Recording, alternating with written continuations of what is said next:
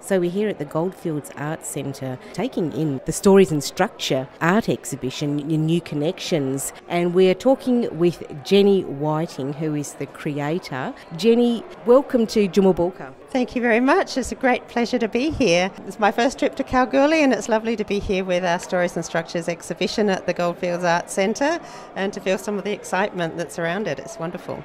Can you share with us a little bit of background information about the exhibition?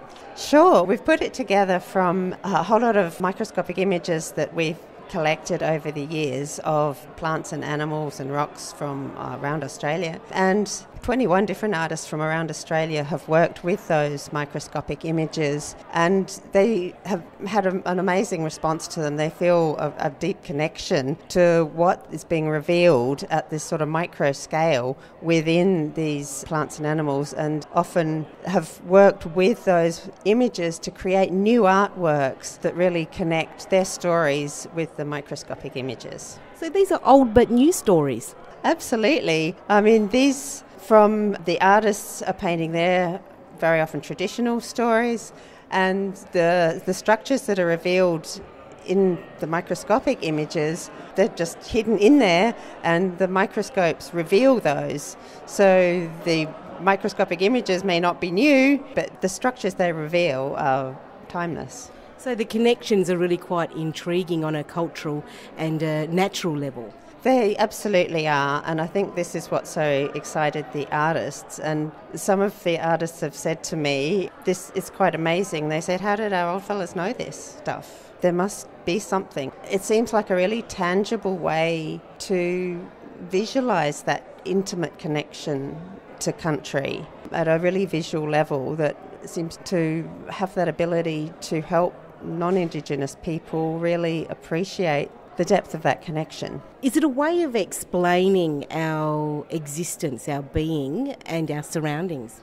Everybody gets different things from it, and I think seeing the the being and the country represented by the artists in their traditions and their stories is fabulous.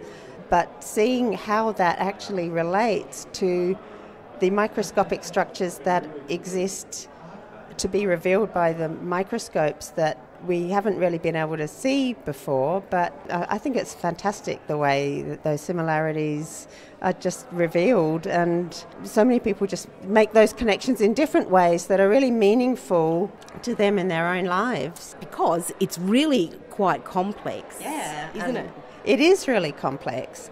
And I think, as I was sort of saying, it's what started off as quite a simple visual similarity. It's become apparent that there's so much more to it than that. It's in all about the way that we share knowledge.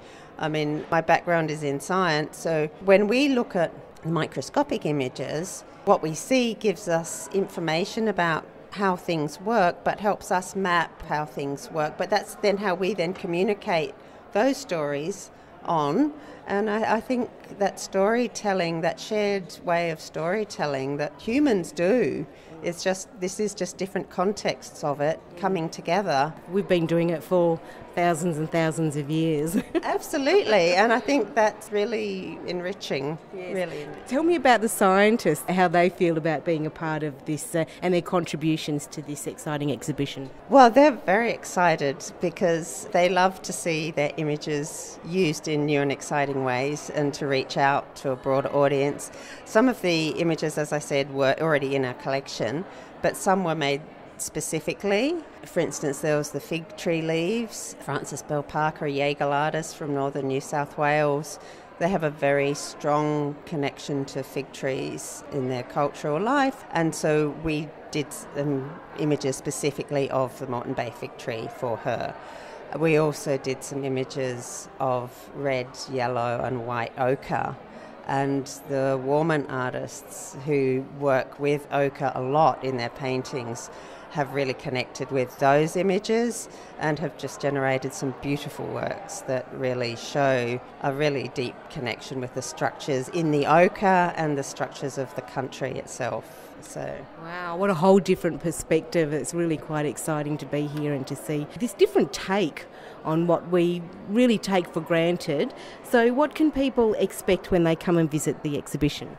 There's 21 different artists have taken part. So there's 21 different artworks, 24 different microscopic images, which are largely paired. Some there's more than one micrograph. Sometimes there's one micrograph shared, but basically they can see that uh, intimate alignment of the microscopic images and the artwork and the stories. The stories are written on the uh, caption board. So it is worth taking the time to read the stories as well as take in the artworks and the micrographs and, yeah, make your own connections. Beautiful. And how long is the exhibition here in the Goldfields for? It's here at the Goldfields Arts Centre until the 22nd of March. I think it's open Monday to Friday and on Saturdays, but check the times for opening and uh, then it will be going on to Pinjarra. Jenny Whiting, thank you so much for talking with Tjuma Pulka today. My pleasure.